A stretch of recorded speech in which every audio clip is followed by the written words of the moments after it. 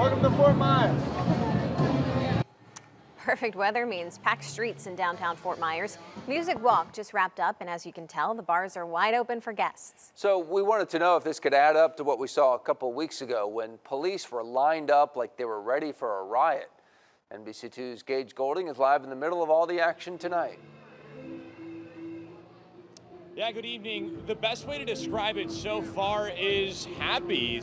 Right now, there's been no incidents reported here this evening. Take a look.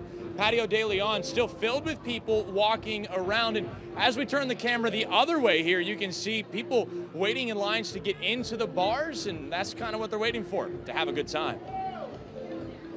Welcome to Fort Myers.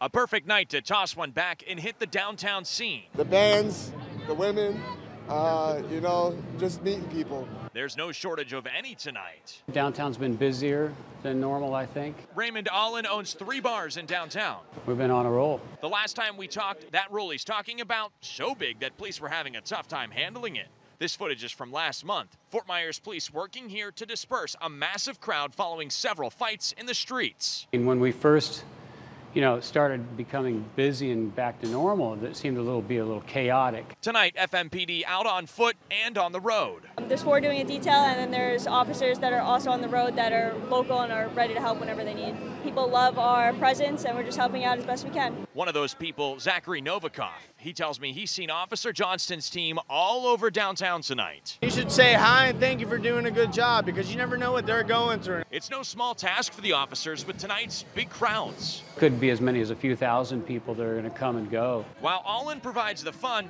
FMPD plans on providing the safety.